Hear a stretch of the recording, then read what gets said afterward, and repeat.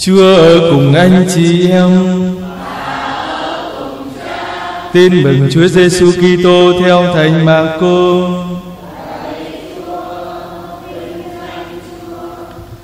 Khi ấy ông Phêrô lên tiếng thưa với Đức Giêsu rằng: Thầy coi, phần chúng con, chúng con đã bỏ mọi sự mà theo thầy.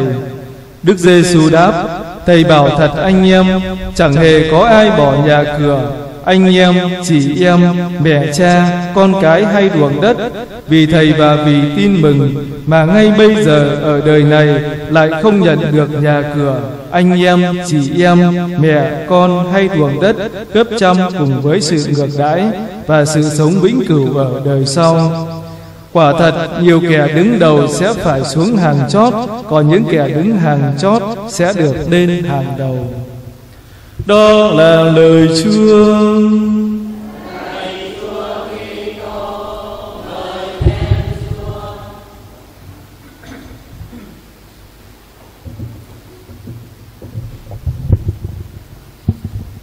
Ông Phêrô thắc mắc vì mình và các bạn đã bỏ tất cả, bỏ vợ con, bỏ mọi sự đi theo Chúa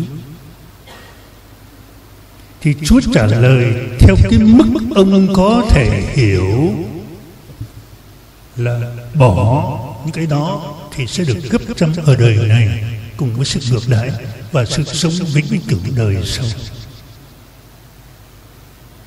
Chắc chắn ông Phêrô lúc đó cũng chẳng hiểu đâu. Nghe biết vậy thôi.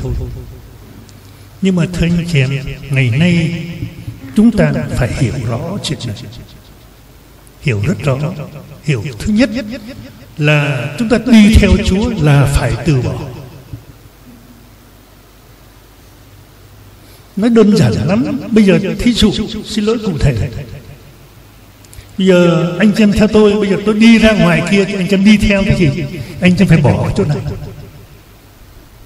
à, trời nắng này, bỏ chỗ râm mắt đi vào trời nắng thế thì đi theo chúa, tự cái việc đi theo chúa đã là một việc từ bỏ rồi. Cho nên không có chuyện mà đi theo chúa nếu không có từ bỏ. Bây giờ tôi đi vào thực tế.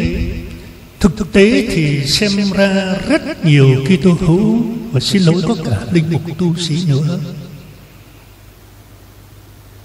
Muốn bắt cá hai tay vừa muốn đi theo Chúa, vừa muốn giữ lại tất cả, không muốn từ bỏ.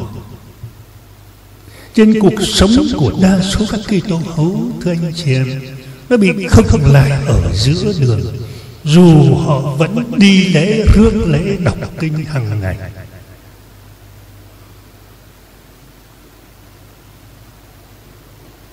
Anh chân thử nghĩ xem có đúng không? Đa số chúng ta là muốn bắt cả hai tay, muốn được cả hai, vừa muốn đi theo chúa, vừa muốn giữ lại cho mình tất cả. Nhất là với cái cuộc sống kinh tế thị trường hôm nay đó, thưa anh chị em. Rồi vật chất kinh cầu đầy đủ tất cả. Nó kích cầu đầy đủ tất cả. Thành thử ra con người xem ra hôm nay rất khó từ bỏ. Mà cũng chẳng là gì cả. Hôm qua anh xem, nghe cái câu chuyện của cái anh thanh niên. Đó. Anh ta có rất nhiều của cả. Chúa nói anh ta rõ lắm. Anh bán tất cả đi. Anh sẽ có một kho tàng trên trời Rồi đến theo tôi. Anh sẽ có một kho tàng trên trời. Cái lời hứa nó vượt xa tất cả những gì anh có. Rồi gì nữa? Theo tôi. Nhưng mà người thanh niên bị của cải choáng mắt hết rồi, không thấy gì hết cả. Chỉ thấy những gì mình đang có mà thôi. Không nghe, không hiểu được lời chúa và không sẵn sàng đáp lại, cũng chẳng hiểu kho tàng trên trời là cái gì, mà đi theo thầy là cái gì. Không có chuyện đó câu chuyện của người thanh niên, thưa anh chị em, một một cách nào đó, nhiều cái thú bây giờ cũng đang đang viết lại cái câu chuyện đó, nơi bản thân cuộc sống của mình. Chúng ta không có nhiều của cải như người thanh niên đâu, nhưng chúng ta có nhiều sự ở đời này. Vợ chồng, cha mẹ con cái gia đình, bạn bè, rồi tiền của bất bất động sản, nhà cửa, tiện nghi, tất cả các cái đó. Chúng ta không muốn bỏ. Bằng chứng là các cái ơn của anh em xin nó luôn nhằm củng cố cái đời sống hiện tại của mình. Củng cố xin ơn bình an xin cho mọi việc suy thẳng suy thuận rồi công ăn việc làm tốt đẹp củng cố cái đời sống này. ta đang muốn bám vào đây muốn giữ vào đây mà. Mặc dù một đằng nữa cũng vẫn muốn theo Chúa. Thưa anh chị em chúng ta cần phải hiểu rõ hơn. Bây giờ xin phép đi tiếp Đi sâu hơn vào nữa. Chúng ta phải hiểu rõ Từ bỏ theo tin mừng hay từ bỏ vì Chúa Giêsu Kitô Nghĩa là cái gì? Hôm nay tôi nói một một cái ý nghĩa đó thôi.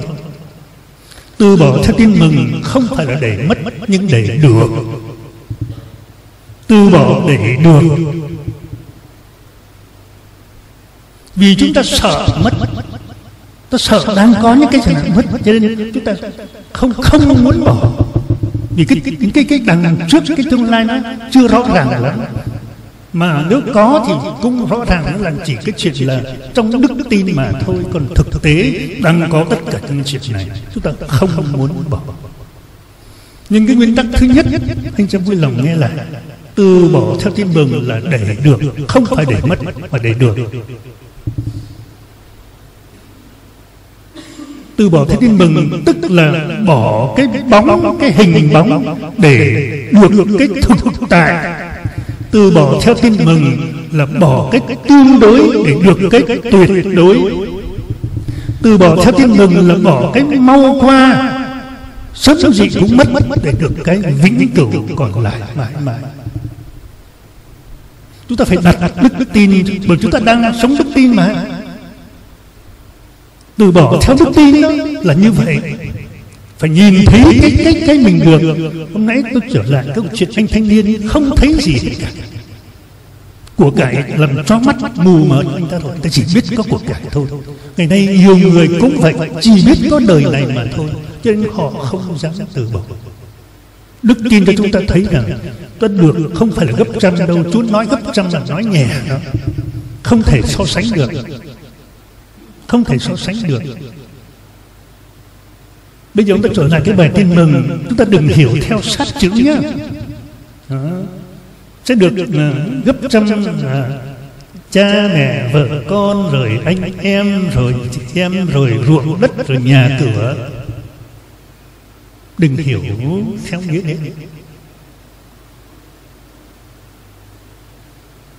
Vậy thì khi từ bỏ như vậy, Như ông Phêrô nói, Ông từ bỏ tất cả thì được cái gì?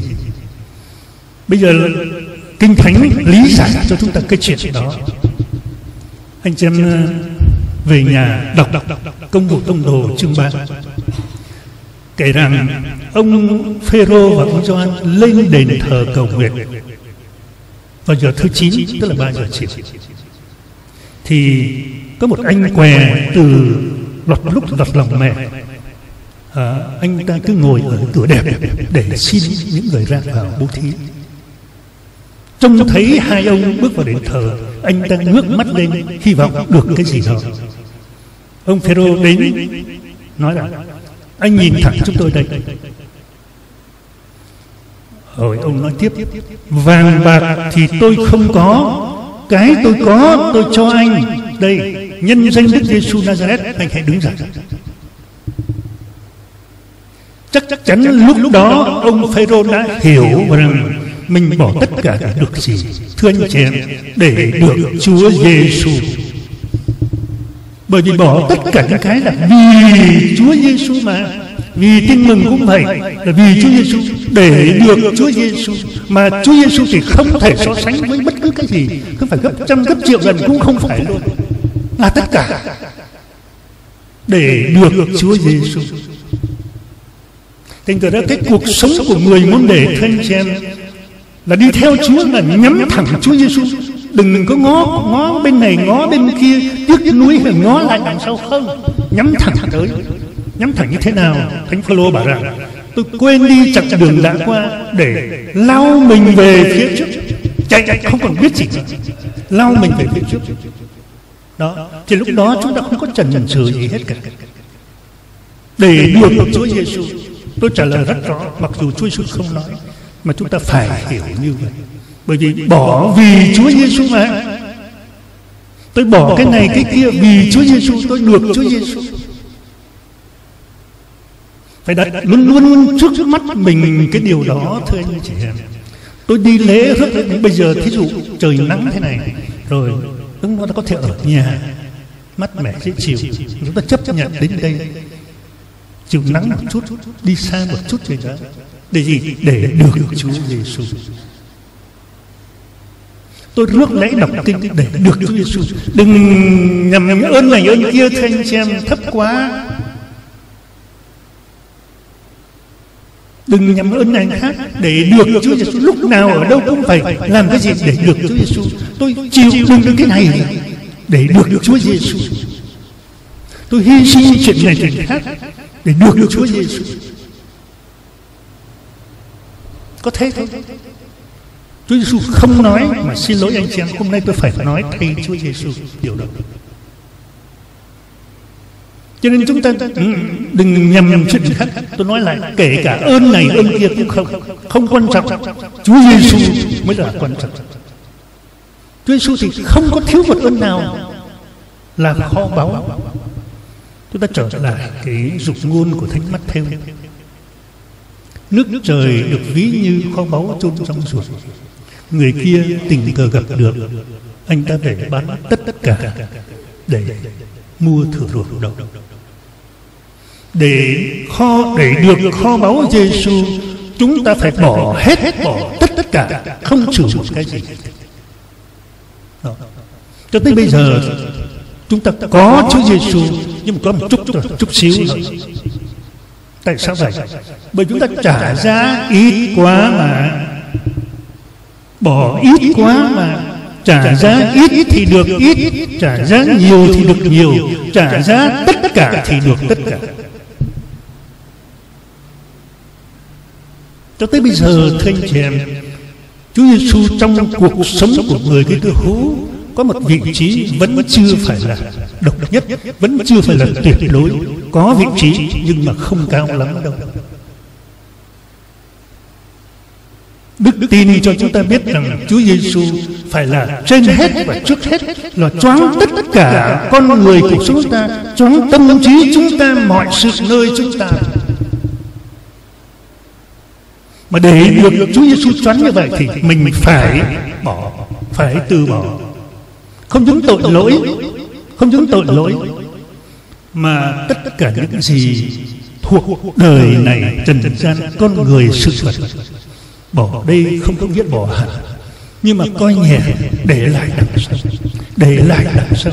Để chỉ nhắm Chúa Giêsu mà thôi. Nó luôn khao khát Chúa Giêsu nghĩ tới Chúa Giêsu làm cái này cái kia vì Chúa Giêsu từng bước từng bước một, mỗi lần như vậy, thưa anh xem là chúng ta trả giá đó. Mà trả giá thì được thêm, mỗi lần trả giá thêm như vậy thì được thêm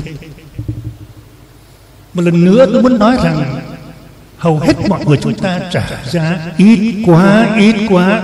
Cho nên bây giờ chúng ta cũng chỉ có Chúa Giêsu một chút chút thôi. Chúng ta không hiểu được những chuyện này. Bây giờ mỗi người thử coi. Bắt đầu mình chịu trả giá đi. Bắt đầu chịu cái này, chịu cái kia vì Chúa đi. Làm cái này, cái kia vì Chúa đi. Hướng cái này, cái kia về Chúa tất cả đi. Dần dần dần từng bước một, chúng ta sẽ cảm nhận được. Chúa Giêsu bắt đầu có mặt, bắt đầu hiện rõ trong con người cuộc sống chúng ta, bắt đầu nâng đỡ chúng ta từ bên trong chứ không phải cái chuyện bên ngoài. Lúc đó chúng ta sẽ thấy mọi vấn đề nó khác, mọi vấn đề nó khác lắm. Người ta nói rằng khi cái tuyệt đối đến thì làm cho tất cả mọi sự đều trở thành tương đối khi Chúa Giêsu đến thì chúng ta sẽ có một cái nhìn khác hoàn toàn về con người, về sự vật, về mọi chuyện ở này về chính bản thân của mình. Cho tới bây giờ chúng ta vẫn coi trọng, vẫn coi trọng mọi sự và coi trọng bản thân của mình, bởi vì chưa coi trọng Chúa. Chưa coi trọng Chúa Giêsu. Thánh ờ, Biển Đức có nói một cái nguyên tắc cho các tu sĩ trong dòng Biển Đức không quý gì hơn không coi gì trọng hơn Chúa Kitô. Không coi gì trọng hơn Chúa Kitô. Chúng ta phải coi cái nguyên tắc đó là của mỗi người chúng ta. Chúng ta theo Chúa Kitô chúng ta tin vào Chúa Kitô. Chúng ta bám vào Chúa Kitô chúng ta gắn bó với Chúa Kitô. Và tất cả Chúa Kitô là tất cả cho chúng ta đi lễ thức lễ đọc kinh là để đón Chúa Kitô mỗi lần như vậy, để đón Chúa Kitô hơn nữa mà muốn đón Chúa Kitô phải từ bỏ, phải có nhẹ tất cả mọi chuyện mới được. Vì chúng ta thường thường bắt cá hai tay không không khá được, không tiến triển được. Mỗi người nhìn lại chính mình coi, nó sẽ thấy được cái chuyện đó. Ngày mai chúng ta bước vào mùa chay đó, tôi thiết nghĩ rằng là cái, tất tất cả cái mùa chay 40 ngày đó là để chúng ta đó đó là chúng ta quyết tâm đi theo Chúa. Quyết tâm chọn Chúa Giêsu mà muốn như vậy thì phải trả giá một lần nữa phải trả giá. Không có cách nào không được. Đi lễ rước lễ đọc kinh mà thôi chưa đủ trả giá mới có mà ít lắm. Còn phải hy sinh nhiều chuyện nhất là trong cuộc sống mình chịu đựng chuyện này, chuyện khác vì Chúa. Mình bỏ qua chuyện này, chuyện khác vì Chúa. Mình tha thứ chuyện này khác vì Chúa. Ờ, mình dâng tất cả những phiền rầy của cuộc sống của bản thân, của gia đình, của người này người khác vì Chúa Giêsu cứ mỗi lần như vậy thì chúng ta lại được Chúa Giêsu thêm. Mà mỗi lần như vậy, Chúa Giêsu lại sáng tỏ ra trong con người cuộc sống của chúng ta. Thưa anh chị em đó là tin mừng. Đó là cốt lõi của đời sống Kitô hữu. Cốt lõi không phải là vấn đề đi lễ rất lễ đọc kinh, mà cốt lõi là có Chúa Giêsu sống với Chúa Giêsu nên một với Giêsu trong mọi khoảnh khắc cuộc đời của mình. Cho nên ai sống với Chúa Giêsu thì chết với Chúa Giêsu và được hưởng vinh quang với Chúa Giêsu